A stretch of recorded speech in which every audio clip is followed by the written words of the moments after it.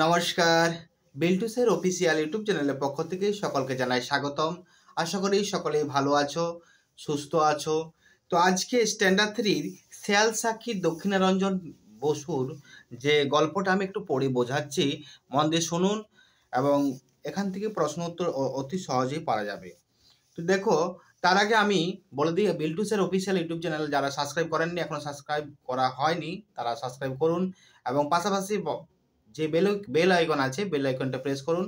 যাতে ভবিষ্যতে আমি ভিডিও আপলোড করলে তার সবার আগে পৌঁছে যায় ভিডিওটা আপনাদের কাছে। এবং ডেসক্রিপশনে বিভিন্ন সোশ্যাল মিডিয়া লিঙ্ক দেওয়া আছে, পারলে ভিজিট করতে পারেন। যে সোশ্যাল মিডিয়ায় বিভিন্ন প্রবলেম সলভ করা থাকে, অবশ্যই আপনারা ভিজিট করতে পারেন। তো দেখুন শিয়াল সাক্ষী দক্ষিণারঞ্জন বসু, তো রাজপুত্রের হয়ে সাক্ষ্য দিতে হবে। রাজপুত্র হয়ে সাক্ষ্য দিতে হবে, তা না হলে সে তার ঘোড়াটাকে আর ফিরে পাবে না।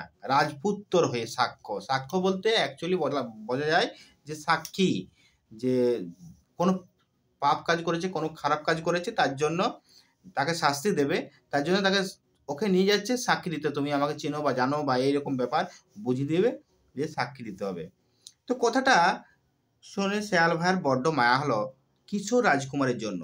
তাই তাকে দুটো কথা শুনিয়ে দেওয়ার জন্য বললে, শেয়াল ভাইয়া, মুখ কেন ভার হে রাজকুমার? মুখ কেন ভার হে রাজকুমার? কাল আমাকে উড়িয়ে দিলে হেসে? আজ আর আজ করছ খোসামদ আমার কাছে এসে কেমন মজা পেলে তো ঢের? একেই বলে কপালের ভের। মুখ কেন ভার রাজকুমার? রাজকুমার, তোমার মুখটা কেন ভার? হে রাজকুমার, কাল আমাকে উড়িয়ে দিলে, হেসে উড়িয়ে দিলে, কালকে যখন ডাকলাম, তখন তুমি আর শুনলেন আমার কথা? আজকে খোসামত করছ সাক্ষ্য দেওয়ার জন্য? কেমন মজা পেলে বলো তুমি? একেই বলে কপালের ফের, একেই বলে কপালের ফের। তো এই বলে শেয়াল ভাইয়া আগের দিনে তাচ্ছিল্যের শোধ নিয়ে রাজপুত্রের বিপদের কথা বিস্তারিত জানতে চাইলো। তাহলে এই বলে শেয়াল ভাইয়া তার তাচ্ছিল্য করলে করলে, ঠিক আছে। এবার রাজপুত্রের কাছে কিছু কথা জানতে চাইলো এবং তাকে কথা দিল যে সম্ভব হলে সে তাকে নিশ্চয়ই বিপদ থেকে উদ্ধার করবে। তো শেয়াল ভাইয়ের কাছে, কাছ থেকে এই আশ্বাস পেয়ে রাজপুত্র তার কাছে নিজের দুঃখের কাহিনী বলতে আরম্ভ করলে। এই সে বলে, তার বাবা মা দুজনকেই তাকে প্রাণের চেয়েও বেশি ভালোবাসেন। যে রাজপুত্র গল্পটা শোনাচ্ছে, তাকে শেয়ালকে, যে রাজপুত্রকে প্রচণ্ড ভালোবাসে বাবা এবং মা। তবুও দিন দুই আগে তারা তাকে এমনভাবে গালমন্দ করলেন যে তা শুনে প্রাসাদের সব লোকজন অবাক হয়ে গেল। সবাই অবাক হয়ে গেছে। কি জন্য? যে এই কারণটা পরে আমি বলছি, গল্পটা না পড়লে তো বোঝা যাবে না। তো কি কি কথা, কে বলছিল শুনি? সত্যি কথা বলো তো এক্ষুনি, কে কি কথা বলেছে, গালমন্দ কেন করেছে, মা বাবা? তো শেয়াল ভাইয়া খুব আগ্রহের সঙ্গে আগা গোড়া সমস্ত ব্যাপারটা ভালো করে জেনে নিতে চাইলো। রাজকুমারও এক এক করে সব প্রশ্নের জবাব দিতে লাগল। প্রথমেই সে দাইমা বা প্রধান পাচক ঠাকুরের কথোপকথন বলতে লাগল। পাচক ঠাকুর প্রথমে বলেছিল দাইমাকে যে রাজ সাহেবের এমন রাগ কুমারের উপর এর আগে আর কখনো দেখা যায়নি। দাইমা এর উত্তরে বলেছিল রাজ্জাকে না হয় শত রকমের চিন্তা ভাবনা করতে হয়। প্রাসাদের কল্যাণের চিন্তা। হ্যাঁ এখানে দেওয়া আছে, পাচক ঠাকুর তাদের বাড়িতে কাজ করে। এই পাচক ঠাকুর প্রথম বলেছিল দাইমাকে। হ্যাঁ তো এখানে প্রথমে লাইনটা আমি ভালো করে আরও পর দিচ্ছি। রাজকুমারও এক এক করে সব প্রশ্ন জবাব দিতে লাগল। প্রথমে এসে দাইমা এবং প্রধান পাচক ঠাকুরের কথোপকথন বলতে লাগল। পাচক ঠাকুর এবং দাইমা দুজনে কথা বলছিল, সেই কথাটা বলতে লাগল। পাচক ঠাকুর প্রথম বলেছিল দাইমাকে। কি বলেছিল? পাচক ঠাকুর কাকে বলেছে? দাইমাকে। রাজ সাহেবের এমন রাগ কুমারের উপর এর আগে কখনো দেখেনি। রাজ সাহেব, রাজা সাহেব কি করেছে? কুমারকে বকেছে। রাগ দেখিয়েছে, বকেছে। দাইমা এর উত্তরে বলেছিল, রাজাকে না হয় শত রকমের চিন্তা ভাবনা করতে হয়। রাজাকে অনেক চিন্তা ভাবনা করতে হয়। এই জন্য প্রজাদের কল্যাণের চিন্তা, অন্য সব রাজাদের সঙ্গে যুদ্ধ বিগ্রহের চিন্তা আরও কত কি? কিন্তু রানিমা কি করে ওইটুকু সোনার ছেলেকে রেগে মেগে রাজপুরী থেকে বেরিয়ে যেতে বলতে পারলেন, এটাই, সেটাই বোঝা ওঠার দায়। তো প্রজাদের কল্যাণে চিন্তা করে অন্য অন্য রাজাদের যুদ্ধ বিগ্রহ চিন্তা করে, আরও কত কি চিন্তা করে। কিন্তু রানিমা কি করে ওইটুকু সোনার ছেলেকে রেগে মেগে রাজপুত পুরী থেকে বেরিয়ে যেতে বলতে বলতে পারলেন, সেটাই বোঝা ওঠা দায়। রাজপুত রাজপুরী থেকে বলছে, বেরিয়ে যা।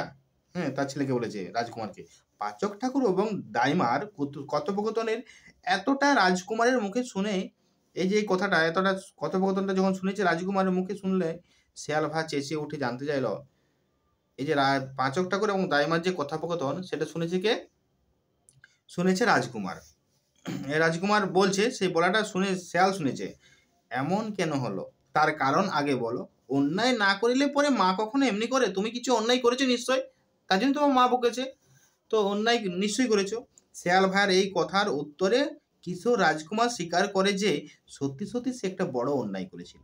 প্রাসাদের বদ্ধ রক্ষীকে সে অপমান করেছিল। প্রাসাদের বড় বদ্ধ রক্ষীকে অপমান করেছিল। রানীমা প্রাসাদের যে রক্ষী রক্ষা করে মানে গেটে দারোয়ান, গেটে সেপাই দারোয়ান, তাকে অপমান করেছিল। বদ্ধ রানীমার কাছে নালিশ জানাতে গিয়ে কেঁদে ফেলেছিলেন। রানীমা খুবই দুঃখ পেয়েছিলেন তাতে এবং কুমারকে ডেকে ক্ষমা চাইতে বলেছিলেন। কিন্তু তাতে রাজি না হওয়ায় খবরটা চলে যায় রাজার কানে এবং কুমারের কঠোর দণ্ডের চিন্তা করেছেন জেনেই রানী তাকে রাজপুরী ছেড়ে চলে যাওয়ার আদেশ দেন বলে শেয়ালভাকে জানিয়ে দেন রাজকুমার। তো এত বড় অপমান করেছে, রাজা তাকে অন্য শাস্তি দিত সেই শাস্তিটা যাতে না হয়, তার জন্য মা তাকে কি বলেছে? তুমি বেরিয়ে যাবে রাজপুর থেকে। শেয়াল ভাইকে সেই কথাটাই জানিয়ে দিল। তা শুনে শেয়াল ভাই বললে যে তবেই দেখো রাজকুমারকে ছাড়তে পুরি কেন আদেশ দেন কোড়া? ছেলেকে বাঁচাতে হবেই মায়ের প্রাণে, তাই তোরা।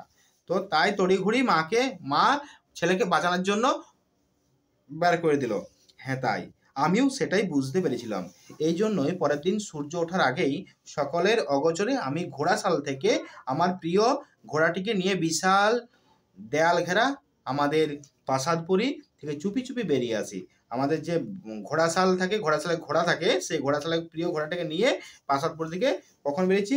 উম, সকালের অগোচরে সূর্য ওঠার আগে মানে ভোরবেলায়। প্রাসাদপুরী থেকে চুপি চুপি বেরিয়ে আসায় সেই যে বেরিয়ে এসেছি তারপর দুটো দিন কেটে গেছে। আজ তৃতীয় দিন চলছে। যুবরাজের জন্য ভীষণ মায়া হলো শেয়ালের। শেয়াল তো গল্পটা শুনছে নিশ্চয়ই তার মায়া হবেই এরকম একটা ঘটনা। সেই সহানুভূতিকে জানিয়ে রাজকুমারকে বললে আহা হা খাওয়া দাওয়া হয়নি বোধ হয় খাওয়া দাওয়া বোধহয় হয়নি। তো ও বুঝতে পারছে যে খাওয়া দাওয়া হয়নি। আমার কাছে আম কলা আমার কাছে আম, কলা ও লিচু, তাই খেয়ে নাও, হোক না ফলাহার। বাকি কথা শুনব পরে আর। বলছে, আগে ফলাহারটা করে নাও, আগে ফল টলগুলো খেয়ে নাও, তারপরে পরে কথা আমরা শুনব বাকি কথা। এই বলে শেয়াল ভাইয়া বিরাট এক অসত্য গাছের কাছে একটা সুড়ঙ্গের ভেতরে ফুড়ুত করে ঢুকে গেল। তাহলে শেয়াল ভাইয়া কোথায় ঢুকেছে? অসত্য গাছের কাছে একটা সুড়ঙ্গ ছিল অসত্য মোটা গাছ মানে আসুত গাছ। এই গাছের নিচে একটা সু- সুড়ঙ্গ ছিল মানে গর্ত ছিল। সেই গর্তে ঢুকে ঝুড়ি থেকে পাকা আম, কলা, লিচু নিয়ে রাজকুমারের কাছে এক ঝুড়ি হাজির করল। রাজকুমার শেয়াল ভাইয়ার দেওয়া ফলাহার সাথে সাথেই তার আগের দিনে দুর্ভোগের কাহিনীটি বলতে লাগল। সেই যে দুদিন দুর্ভোগ হয়েছে, দুদিন শেয়ালের কথা না শুনে যে বেরিয়ে গেছিল, সেই দুদিনের দুর্ভোগের কথা বলতে লাগল কাহিনীটা। কি বলছে ঘটনাটা? যে পরশু শেষ রাতে প্রাসাদ ছেড়ে যাওয়া ছেড়ে বেরিয়ে আসার পর সেই যে ঘোড়া ছুটিয়ে চলেছিল রাজকুমার এই শেয়াল ভাইয়ের সঙ্গে দেখা হবার আগে পর্যন্ত। সে আর এক মুহূর্ত কোথাও থামেনি। তার মানে পরশুদিন সেই যে যে, প্রাসাদ থেকে বেরিয়েছিল সে বেরিয়ে আসার পর থেকে ঘোড়া ছুটি চলছিল রাজকুমার। সেই শেয়াল ভাইয়ের সঙ্গে দেখা হওয়ার আগে পর্যন্ত শুধু ছুটেই যাচ্ছে হ্যাঁ ঘোড়া নিয়ে। কোথাও দাঁড়ায়নি। ইচ্ছা ছিল খুব জোরে ঘোড়া ছুটিয়ে দিয়ে কোথাও রাত্রিবাসে উপযুক্ত ব্যবস্থা করে নেব। তো আর সেই সময়ে হঠাৎ শেয়াল ভাইয়া তাকে থামিয়ে দিয়ে বলেছিল যে, ভাবছিল কোথাও একটা দূরে চলে যাব, আরও দূরে। তো সেই ঘোড়া তখন বলছে, ও ঘোড়া সাওয়ার শেয়াল ভাইয়া ও ঘোড়া সার ও ঘোড়া সার জানি না কি, জানি না কো, কি নাম তোমার? তবু দেখে তোমায় এই মনে হয়, কোন রাজার ছেলে, কোন রাজার ছেলে হবে নিশ্চয়? তাই তোমাকে বলছি রাজকুমার, এটা প্রথম দিনের ঘটনা, যেদিন তার ছেলে করেছিল। কোনো রাজার ছেলে হবে নিশ্চয়ই। তাই তোমাকে বলছি রাজকুমার, বন্ধু তুমি হবে কি আমার? দুই সখাতে গল্প অনেক হবে, তোমার ঘরে চাপিয়ে আমায় নেবে। দুটা, দুজনে আমরা বন্ধু হব, তোমার ঘোড়াতে আমাকে চাপিয়ে নেবে। তখন সে তার ছেলে করেছিল, কি তার ছেলে করেছিল? যে শেয়ালটার ওই রকম বেয়াদপি কথাবার্তা শুনে যুবরাজ শেয়ালকে এক ধমকে চুপ করে দিয়ে আগের দিন বিকেলে ঘোড়া ছুটিয়ে উধাও হয়েছিল, সন্ধ্যা হয়ে আসছে বলে। মানে এটা তার ছেলে করেছিল প্রথম দিনে দ্বিতীয় দিনের নয়, দ্বিতীয় দিনে আছে ওকে সাক্ষী দেওয়ার জন্য বলেছে। কেন সাক্ষী দেওয়ার জন্য? এটা বলছে ঘটনাটা। কিন্তু সারা রাত ধরে চূড়ান্ত দুর্ভোগ দিয়ে শেয়ালকে ওইরকম তাচ্ছিল্য করে দিয়ে বেরিয়ে গেছে। চূড়ান্ত দুর্ভোগ ভোগবার পর সে রাতের আশ্রয়দাতা এক তেল কল আওয়ালার ঘানি ঘরে। মানে যেখানে তেল পেশাই করে তেল কল আওয়ালা, সরিষা সরিষা পেশাই করে তেল বের করায়, সেখানে ঘোড়াটাকে হাতছাড়া করে ঘোড়াটাকে রেখে দিয়ে এসেছে ঘানি ঘরে। তারপরে বিশ্রাম নিয়েছিল। ঘোড়াটাকে উদ্ধারের জন্য রেখে আসতে হয়েছে। তাই তার ঘোড়াটিকে উদ্ধারের জন্য বারবার শেয়ালটিকে বন্ধু বলে সম্বোধন করতে হয়েছে যুবরাজকে। গল্পটা এখানে আরও আছে। তো এইবারে ঘটনাটা কি হয়? ঘোড়াটা চুরি হয়ে যায়। চুরি হয়ে যাওয়ার পরে এই যে প্রিয় ঘোড়া ছিল, এই ঘোড়াটা, প্রিয় ঘোড়াটা যেহেতু চুরি হয়ে গেছে, এই জন্য সাক্ষী দিতে হবে কাকে? শেয়ালকে। কোথায় সাক্ষী দিতে হবে? রাজকুমারের কাছে রাজার কাছে। তো এখানে দিয়েছে তাচ্ছিল্য কথার অর্থ হচ্ছে অবজ্ঞা, আশ্বাস কথার অর্থ হচ্ছে ভরসা, খোসামত, বারবার অনুরোধ, পাচক যে রান্না করে, দুর্ভোগ, কষ্ট, দণ্ড, শাস্তি, অগোচরে না জানিয়ে, রাজবাড়ি হচ্ছে রাজপুরী রাজবাড়ি, আর সুরঙ্গ গলিপথ, বেয়াদপি, আশ্চর্যজনক অসম্মানজনক, আর প্রাসাদপুরি হচ্ছে রাজবাড়ি। তো এই যে প্রশ্নগুলো, এই প্রশ্নগুলো পরের দিন হবে, তো আমি চ্যাপ্টারটা বোঝালাম। তো বিল্টুসের অফিসিয়াল ইউটিউব চ্যানেলে যদি ভিডিওগুলো ভালো লাগে, অবশ্যই লাইক করেন সাবস্ক্রাইব করেন, পাশে থাকা বেল আইকন প্রেস করুন। যদি বিল্টু স্যারকে ভালো লাগে, অবশ্যই একটা ভিডিওটা লাইক করে দিন। আর বিল্টু স্যারের অফিসিয়াল ইউটিউব চ্যানেল অবশ্যই সাবস্ক্রাইব করুন। কেন সাবস্ক্রাইব করছেন না? আনন্দমা রিলেটেড প্রশ্ন নিয়ে আলোচনা করছে, প্রতিদিন নিয়মিত ভিডিও আপলোড করছে। তো আপনারাও চাইব, আমি চাইব যে আপনাদের কাছে করা জোরে নিবেদন করছি হাত জোড় করছি। আপনারা চ্যানেলটিকে সাবস্ক্রাইব করুন, পাশে থেকে বেল আইকন প্রেস করুন। বিল্টু স্যার আপনাদের ছেলে মেয়েদের সাহায্যার্থে অনলাইন ক্লাসের ব্যবস্থা করেছে অনলাইন ক্লাসে জয়েন হতে পারেন। আগামী থার্ড জানুয়ারি থেকে ক্লাস শুরু হয়ে গেছে অলরেডি তো অবশ্যই জয়েন হয়ে যান, কম ফিজ দু আড়াইশো, তিনশো, ছোটোদের আড়াইশো, বড়দের তিনশো, যদি পারেন কম করে দিন, তাও যদি না পারেন কম করে দিন, মাসে মাসে দিন। তো আসুন জয়েন হন বিল্টুসের অফিসিয়াল ইউটিউব চ্যানেলে আসার জন্য ধন্যবাদ। Tata bye bye